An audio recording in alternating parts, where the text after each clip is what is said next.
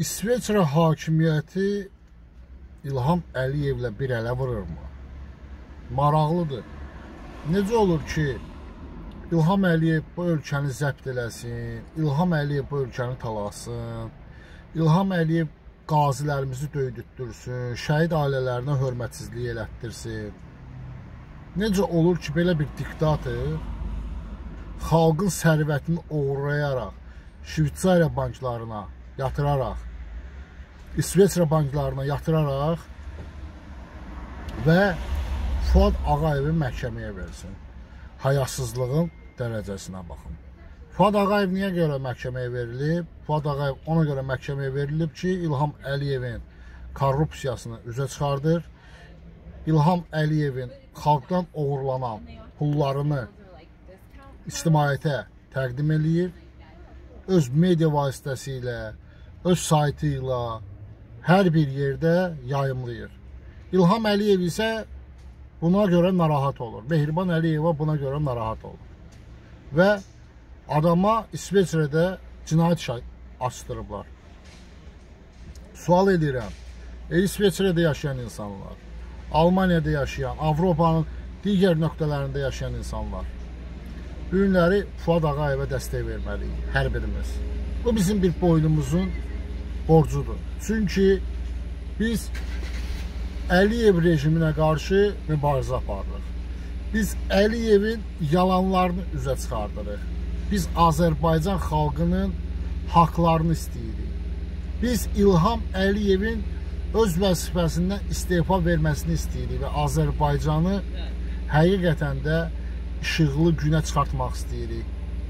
İlham Əliyev Türkün düşmənidir.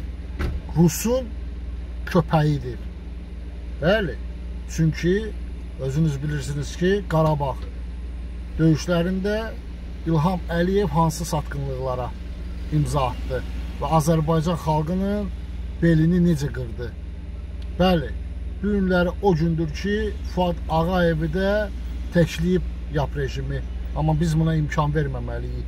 Biz hamılıqla Fuad Ağayevə kimsə video çəkərək, kimsə Fuad Ağayevin E, şəklini çıxardaraq dəstək olmalıyıq. Kim İsveçrədə yaşayırsa, onun məhkəməsinin önünə toplaşmalıdır.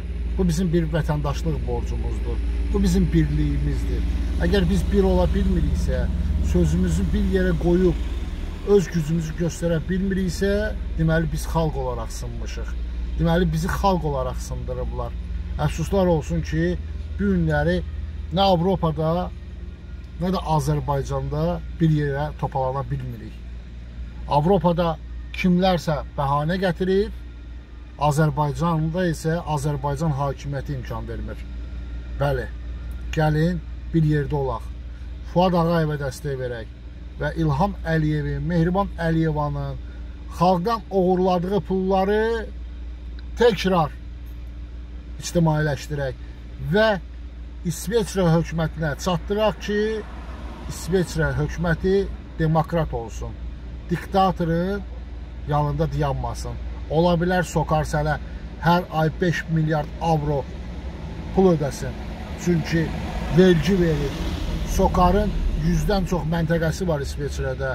Ha, o demək deyil ki, sən pula görə Fuad Ağayevi diktatora hədiyyə verməlisən. Ayıq olun ki, axırımız uçurma getməsin.